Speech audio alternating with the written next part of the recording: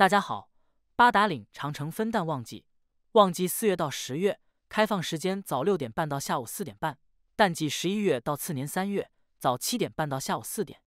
旺季门票成年人四十元，十八岁以上全日制本科以下学生半价二十元，十八岁以下六十岁以上人士、残疾人、现役军人、消防队员免费。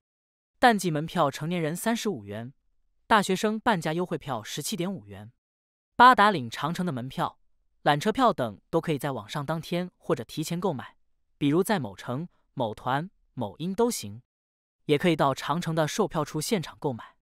免票人员也必须预约门票，凭身份证可直接刷卡进。注意，必须带身份证。如果您没有身份证，凭身份证号到登城口的综合服务窗口换电子票，凭电子票入园。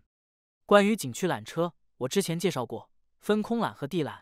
空缆直接刷身份证就检票了，上楼梯拐弯就是空缆站，缆车三分钟不到就在北八楼下面了。往下走就是去登北八楼和去北六楼。地缆是到南长城的南四楼，地缆平时不开，只有五一、十一这样重大节日或是大风天空缆不能开时才会开放。所有缆车开放时间是早七点半到下午四点半，但下午一点半后就不售卖往返缆车票。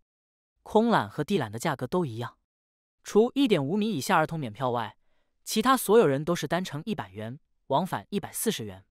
滚天沟停车场高铁站旁的中国长城博物馆。是免费参观，需要预约，目前处于关闭状态。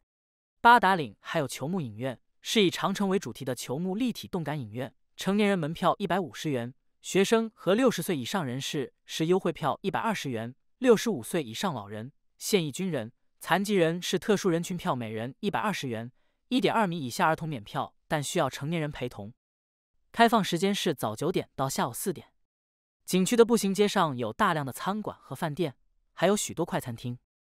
下期视频给您说说八达岭长城的北长城什么样。假如您觉得此攻略有帮助，麻烦您点赞，在评论区回复“有用”。